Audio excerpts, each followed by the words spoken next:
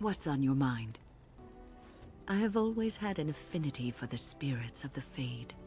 As a child, I never feared my dreams because I knew they were there. I've always been able to feel the spirits, even if I never saw them. And as I nurtured my talent in the circle, I became more sensitive. I began to notice every time I was in the Fade, whether it was in a dream or in magical practice, that I was being watched. I suppose they must. It is these benevolent spirits that create our dream worlds in the Fade. Sometimes I would see it, a glowing, nebulous form. Most times I would just feel its presence, gentle and comforting, but somehow alien. I think it is a spirit of faith. They have never been seen before, and perhaps I am wrong. But something tells me I'm not. It always felt like the same entity. This one spirit was curious about me, and was guarding me, for want of a better word. There were times when I was in the Fade that it seemed to stretch forth to shield me, keeping me safe, and I think it gave me strength in my most terrible battles, Ostagar being one of them. I don't know why I was chosen. Perhaps it knew that there was something more that lay in store for me. I like to think that I was given a rare chance, and I'm going to make the best of the time so generously given to me. I will not lie motionless in a bed with coverlets up to my chin, waiting for death to claim me. That is not the death for me. And so I will fight alongside the Grey Warden and help prepare him for the task that is yet before him. So you had better listen to me, because I swear, if I should fall before the end and you don't seem to be doing things properly, I'll get up again to give you a good finger wagging. You know, I think you'll be all right, even without my help. What's on your mind? Cure me? What, am I sick now?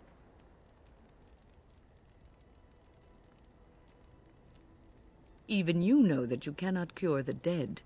And I'm not the only one dying. You are too. I'm just more efficient about it. Ah, child, your concern is heartwarming. But death comes to everyone, and it is not something to fear. People fear not death, but having life taken from them. Many waste the life given to them, occupying themselves with things that do not matter. When the end comes, they say they did not have time enough to spend with loved ones, to fulfill dreams, to go on adventures they only talked about. But why should you fear death? if you are happy with the life you have led. If you can look back on everything and say, yes, I am content. It is enough.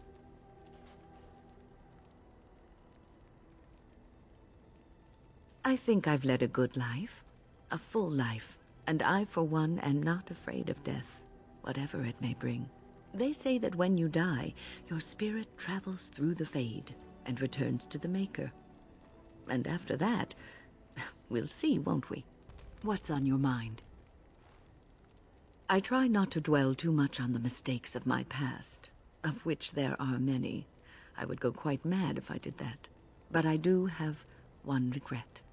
The greatest misstep of my life, made even more grave because it had dire consequences for someone else. Years ago, I was assigned as mentor to a lad, Aneirin. He was my first apprentice. Aneirin was an elf, raised in one of the elven alienages, and he was very mistrustful of humans, especially humans in authority. What Aneirin needed was time. Time to get used to his new home, time to emerge from his shell, so we could build a rapport. I gave him no such time. I was young and arrogant. He is a mage, I thought. He needs to grow up and act like one. I expected too much from him too quickly. I gave no consideration to his origin or his feelings, and he retreated further from me. All I could think of was how stubborn he was, how he was throwing away all his talent and his potential just to be difficult. Oh, I dread to think. I was a harsh taskmistress. He might have thought I was a demon in disguise. You cannot plant crops in the cold, wintry ground. You cannot teach a student who is closed off and unresponsive. Patience is what is needed, and I learned that too late to help him. Aneirin ran away from the circle one night. I had berated him over some trivial, ridiculous matter that I no longer remember. I drove him away because of something utterly unimportant. He was a child, fourteen at the time of his leaving. They had his phylactery, and they hunted him down. They called him Maleficar, a mage who practices forbidden magic, deserving of death.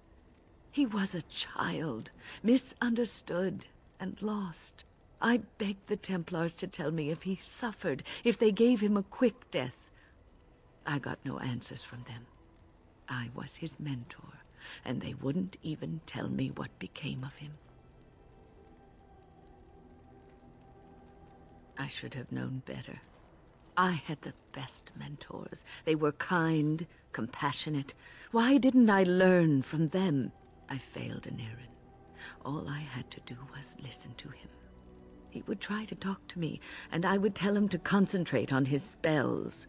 He talked about the alienage sometimes, and the Dalish. He always talked about looking for the Dalish elves. The Templars are well trained, and thorough. That he still lives, it would be a vain hope. The apprentices that came after Aneirin benefited greatly from the lessons I learned from him. In a sense, he was my teacher, and I his student.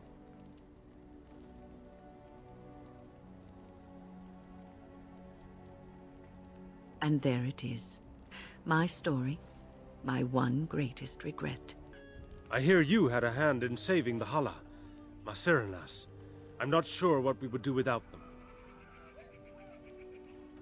I... I appreciate you trying to find him, but what are the chances? Aneirin the healer? You know Aneirin? He... he lives? No, it can't be him. Perhaps it is a common elven name. No, I know of only one Aneirin. Ah, it makes sense. Aneirin said that he was from the human cities. You are old friends, then? If you seek Aneirin, you must venture into the forest. He prefers to be amidst the trees and the animals. Thank you all so much.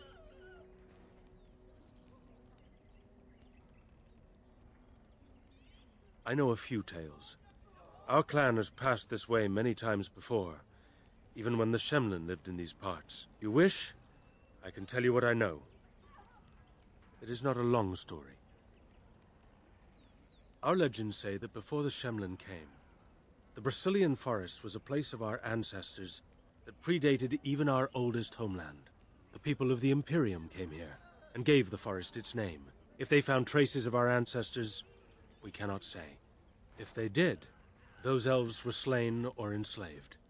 We know only that a great many battles were fought here. These trees grow upon the graves of those who fell, Shemlen and elves both. So much death in one place tore the veil into the beyond.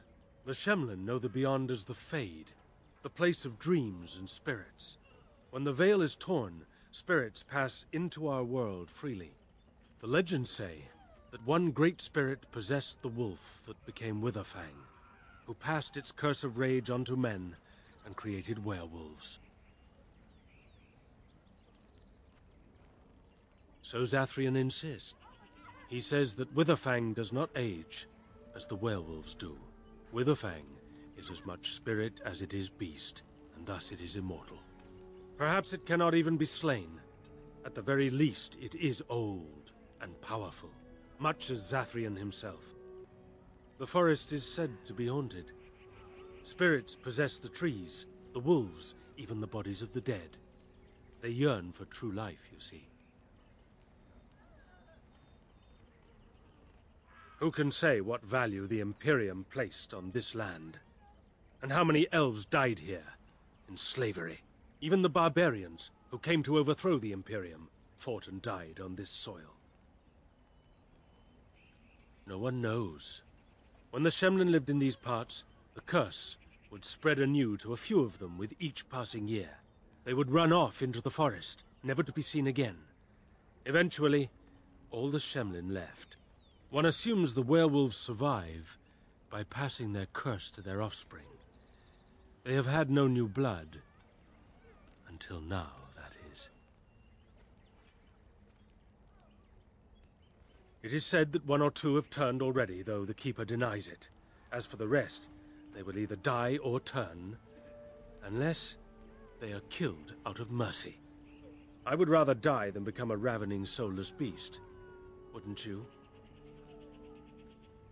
One last warning. The forest is like a thing alive. It changes as it wills, closing paths behind you and opening up new ones. Too many have become lost within, unable to find their way out. Were I you, I would endeavor not to make the forest my enemy.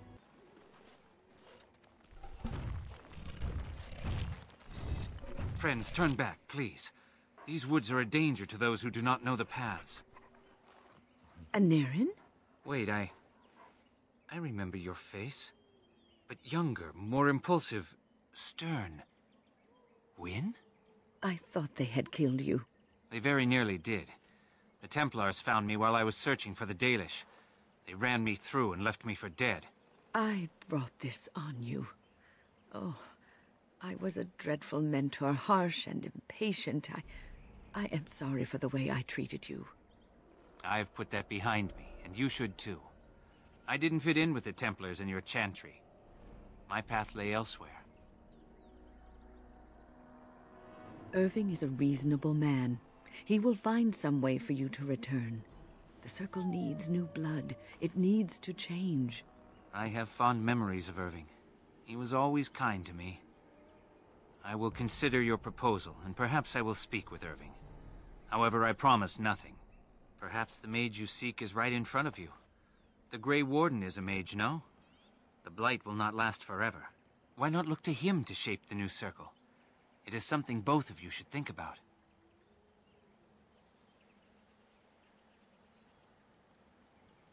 No, we've spent enough time on my personal affairs. It is time for us to move on. Look at this.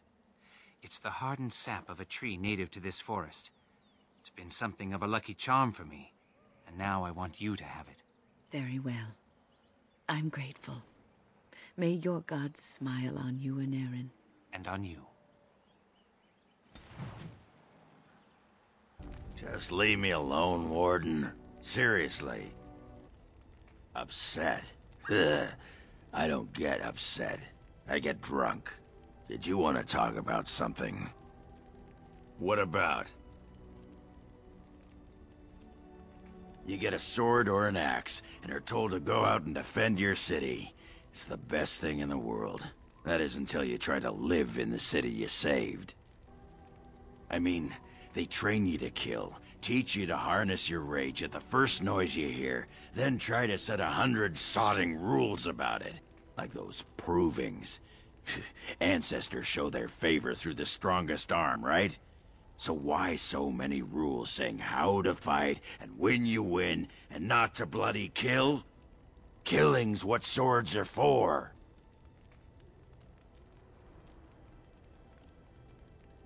You toss a nug to a deep stalker, you don't expect it not to eat the thing, right? this makes me cranky. Don't you have any other inane questions? Alright. Aye, alright then. Hey, Warden, you gotta hear this one. This human walks into a tavern, and there's an elf there, and she says...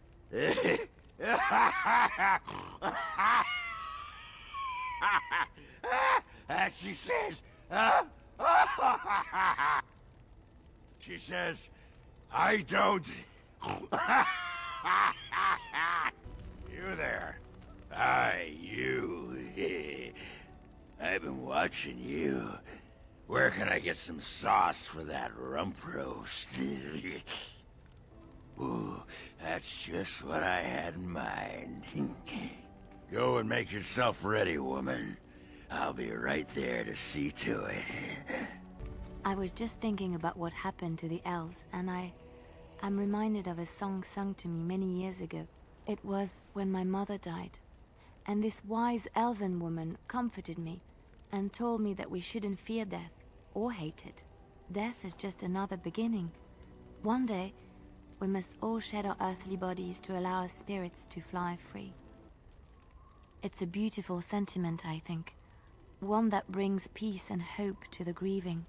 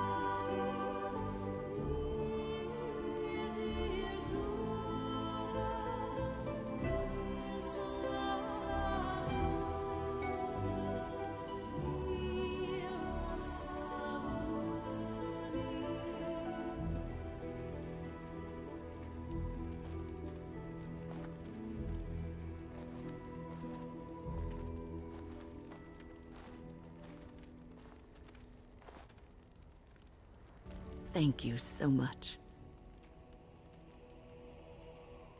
Yes, you led me to Aneirin. You persisted, even though I was sure all you were going to find was a dead end. I will never be able to repay you for what you've done for me. Finding Aneirin allowed me to bring that chapter of my life to a close. I feel free. A great weight has been lifted off my heart. This moment feels like the moment before the sunrise, when all the world is still, holding its breath, waiting for first light. I can stop thinking about my past and look forward to the future. Thank you, my friend. You will always have my gratitude. Have you given any thought to what Aneirin said? There is wisdom in his words. You are a mage, and you could be what the Circle needs most. Your life as a Grey Warden has given you a chance to venture abroad, farther than many mages have been. You've seen the world, dealt with kings and lords, Templars and apostates. You've seen the good and bad of all of these. You could bring these experiences back to the Circle, improve it with what you know. It will take time, but it can be done. Slowly. Oh, believe me, I would if I could but I am not long for this world. Day by day, I feel myself weakening.